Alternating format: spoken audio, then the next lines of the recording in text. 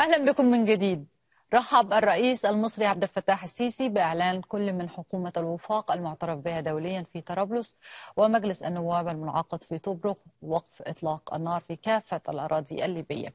واعتبر البيان أن ما حدث خطوة هامة في على طريق التسوية السياسية. كما رحبت جامعة الدول العربية وإيطاليا وروسيا والولايات المتحدة بالقرار. مزيد من التفاصيل في التقرير التالي. ترحيب عربي ودولي بوقف إطلاق النار في ليبيا والذي جاء مفاجأة لكثيرين. حيث أصدر فايز سراج رئيس حكومة الوفاق المعترف بها دوليا تعليمات بالوقف الفوري لإطلاق النار في عموم البلاد. وأضاف بيان الحكومة أن السرت والجفرة ستكون منزوعتي السلاح على أن تتولى الشرطة تأمينهما. وكذلك قال البيان إن الحكومة تسعى لعقد انتخابات برلمانية ورئاسية في مارس المقبل مع التأكيد على وجوب استئناف إنتاج وتصدير النفط وإيداع الإيرادات بحساب المؤسسة الوطنية. وبدوره أصدر عقيل صالح رئيس مجلس النواب المنعقد في طبرق بيانا متزامنا مع بيان السراج. أكد فيه وقف الأعمال القتالية ودعا إلى جعل سرت مقرا مؤقتا للمجلس الرئاسي الجديد تمهيدا لتوحيد مؤسسات الدولة. سرعان ما توالت ردود الفعل العربية والدولية المرحبة واحتفى الرئيس المصري عبد الفتاح السيسي بالبيانين معتبرا كلاهما خطوة مهمة على طريق التسوية السياسية. ولعل اتفاق اليوم يطرح تساؤلات عدة في القاهرة بخصوص الوضع الليبي المستجد فمن ناحية يثور التساؤل حول مدى إشراك القاهرة في أي اتفاق سياسي خلال المرحلة القادمة ومن ناحية أخرى يتساءل محللون حول المصير السياسي للواء المتقاعد خليفة حفتر في المشهد الليبي الجديد وهو الذي لم يصدر بيانا حتى الساعة بخصوص تطورات اليوم. نقطة أخرى تظل محورية بالنسبة للقاهرة وهي الوجود العسكري الأجنبي في الأراضي الليبية. فبينما تتفق جميع الأطراف الدولية على وجوب إبعاد قوات المرتزقة الذين تم جلبهم من قبل الطرفين تظل مسألة القواعد العسكرية مسألة عالقة حيث شددت مصر على رفض وجود أي قواعد أجنبية في الجارة الغربية. في ظل تضارب أنباء عن إنشاء قاعدة بحرية تركية بمصراتة وينضم إلينا من واشنطن عاطف عبد الجواد أستاذ العلوم السياسية في جامعة جورج واشنطن. وينضم إلينا من لندن عبر خدمة سكايب عبد الله الكبير الكاتب الصحفي الليبي. أهلا بكم معايا شرفتوني. وأبدأ معك دكتور عاطف. أهلا بك معايا. وبشكل عام إيه قراءتك لبيان حكومة الوفاق وبيان عقيلة صالح؟ وهل في رأيك وقف إطلاق النار سيستمر؟ طبعا الأساس وراء كل هذه التطورات بسيط للغاية. الرئيس الأمريكي دونالد ترامب تحدث هاتفيا بالشأن ليبيا مع زعماء العالم المنخرطين في الشأن الليبي. تحدث خلال الأسابيع الماضية مع الرئيس المصري عبد الفتاح السيسي مع الرئيس التركي إردوان مع الرئيس الفرنسي ماكرون ومع الرئيس الروسي بوتين. ولدي هنا الآن بيان صدر في الرابع من هذا الشهر صدر عن البيت الأبيض صدر عن روبرت أوبراين مستشار الأمن القومي الأمريكي. نلاحظ في هذا البيان أمرين اثنين. الأول هو أن البيان هذا يذكر حقيقة أن الرئيس ترامب بالفعل تحادث مع زعماء مع عدد من زعماء العالم بشأن حل في ليبيا. والأمر الثاني نلاحظ أيضا أن معظم ما جاء في بيان روبرت أوبراين هذا اشتمل عليه البيان الذي صدر عن حكومة الوفاق الوطني اليوم أو الليلة الماضية. بما في ذلك وقف إطلاق النار بما في ذلك السماح لشركة النفط الوطنية الليبية باستئناف عملياتها بشفافية. يعني على سبيل المثال يقول بيان البيت الأبيض بشأن وقف إطلاق النار. ندعو إلى تحقيق وقف النار بإشراف الأمم المتحدة استنادا إلى محادثات اللجنة العسكرية المشتركة المعروفة بخمسة زائد خمسة. إذا في ظل هذا هذا هذا الضغط الدبلوماسي من جانب الرئيس ترامب وهناك طبعا عوامل أخرى لماذا الرئيس ترامب في هذا التوقيت بالذات بدأ يضغط هذه مسألة أخرى يمكن أن نناقشها ولكن الخلاصة هي أن وراء هذا التطور في ليبيا يقف الرئيس الأمريكي دونالد ترامب. آه بالعودة أستاذ عبد الله أهلا بك معايا. ويعني رد الفعل المصري كان مرحب بشكل كبير بوقف إطلاق آه النار. كيف تم استقبال آه رد فعل المصري من جانب حكومة الوفاق ومن داعميها؟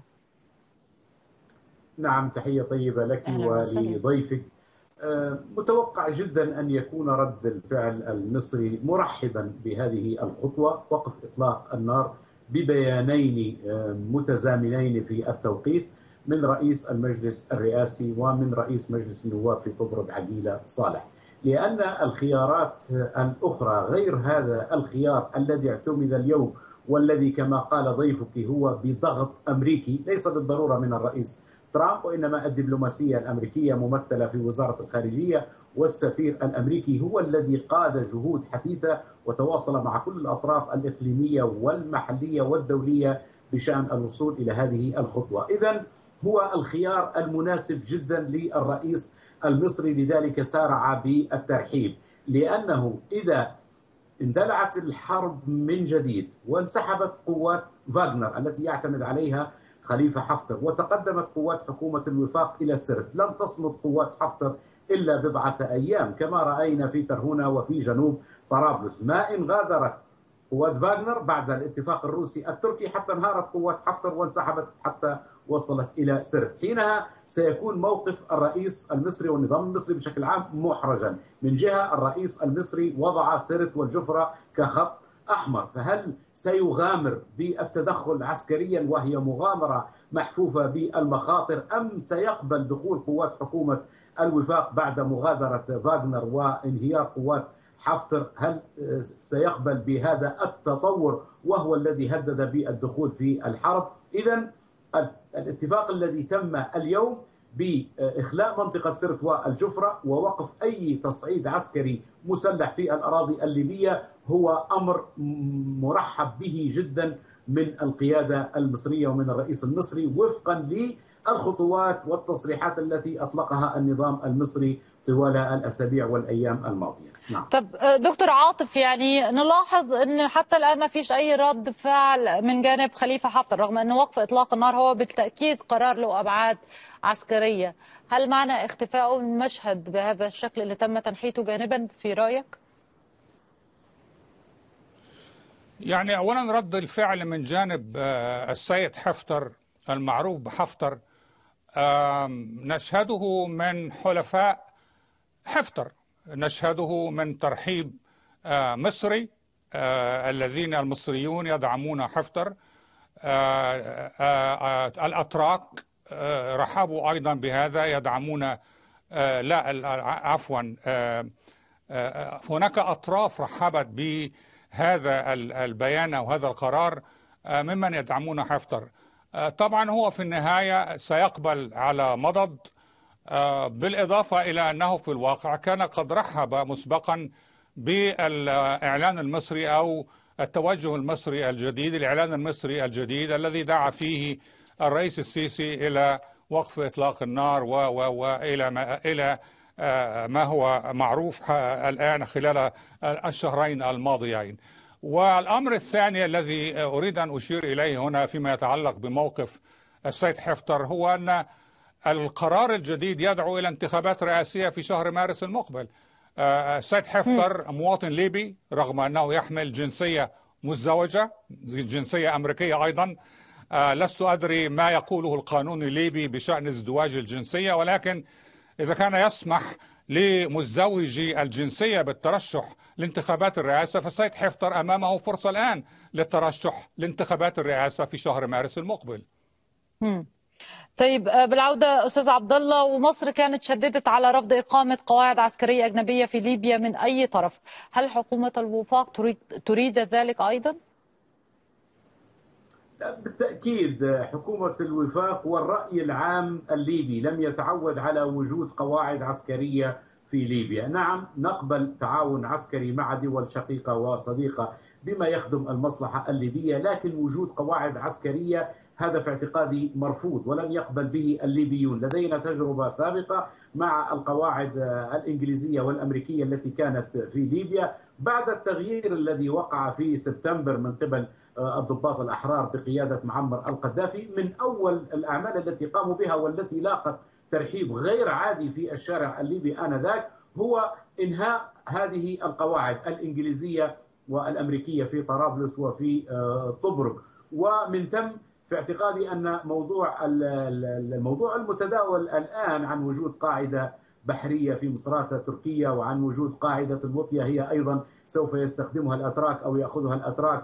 قاعدة الجفرة التي تتواجد فيها قوات فاغنر وطائرات روسية. هذا كله في إطار الصراع الذي يجري ويدور الآن في ليبيا. وليس وجودا مستداما ولا توجد الآن حكومة تملك شرعية حقيقية باستثناء حكومة الوفاق التي تملك اعتراف دولي وهي الحكومة القانونية الآن ولكنها ليست تلك الحكومة التي استمدت شرعيتها من انتخابات ومن برلمان ومن مؤسسات حقيقية انبثقت عن الشعب الليبي حتى يمكن لها أن تبرم اتفاقات تؤهلها لاستقبال قواعد عسكرية وبالتالي كل الحديث الذي يدور عن القواعد الأجنبية مبالغ فيه ولن تكون هناك قواعد أجنبية في ليبيا بالإضافة إلى أن ليست مصر فحسب ترفض ذلك حتى الجزائر وحتى تونس كل الدول ترفض أن تكون هناك قواعد أجنبية في ليبيا قريبة من حدودها.